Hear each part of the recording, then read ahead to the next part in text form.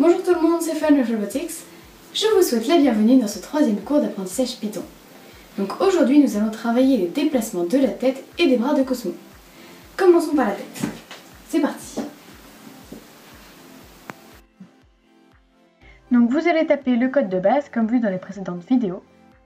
Si vous ne les avez pas encore regardés et souhaitez les voir, le lien va s'afficher à l'écran et sera bien sûr dans la description. Donc l'inclinaison de la tête se fait avec un appel à la méthode SetHeadAngle et l'angle doit être compris entre 0,44 radians, soit environ moins 25 degrés, et 0,78 radians, soit environ 44,5 degrés. Donc, comme nous venons de le dire, les angles sont exprimés en radians.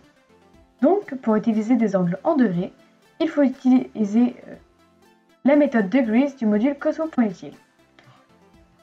Nous allons euh, faire from cosmo.util import degrees de sorte à ce que nous puissions utiliser des angles en degrés. Donc pour commencer, on va demander à Cosmo de baisser sa tête de 50 degrés, puis de la lever à 50 degrés. Nous allons taper robot.setHead degrees moins 50. wait for complete.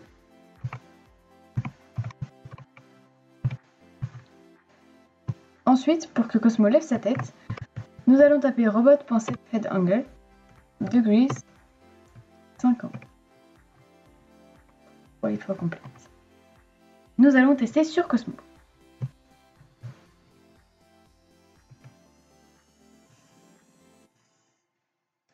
Et voilà, Cosmo a baissé la tête et l'a levé. Vous savez désormais gérer l'inclinaison de la tête. Donc ensuite, on va avoir besoin de gérer le bras de Cosmo, ce qu'on peut faire avec la fonction setLiftHeight de la classe robot. Nous allons donc dans un nouveau fichier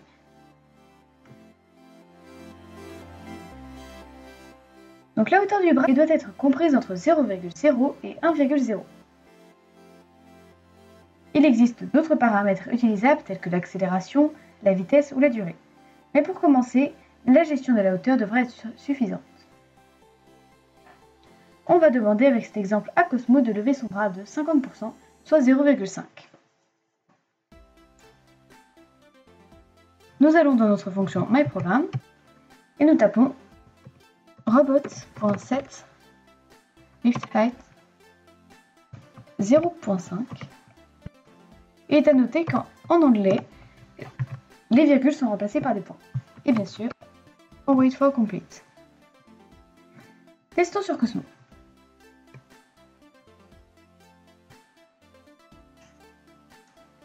Et voilà, Cosmo peut enfin fêter, fêter une victoire.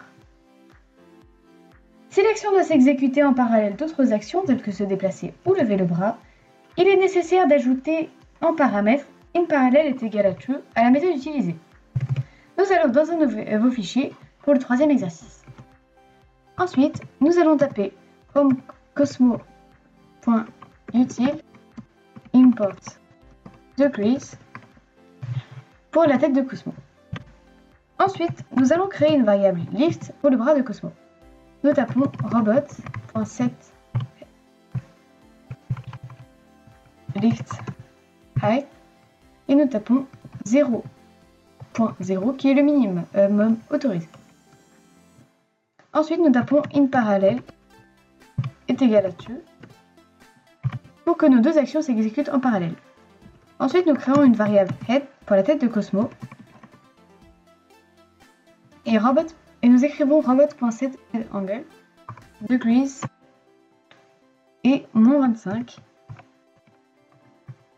Ensuite, nous écrivons in parallèle est égal à true.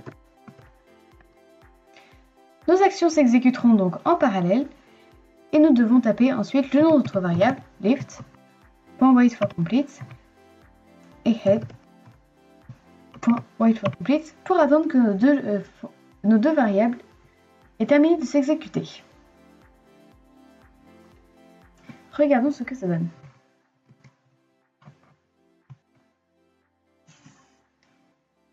Voilà, Cosmo a baissé son bras et sa tête en même temps.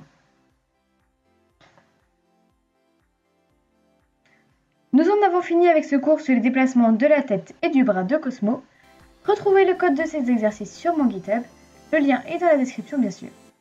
J'espère que ça vous a plu. On se retrouve bientôt pour une prochaine leçon de programmation. Likez, partagez et surtout abonnez-vous.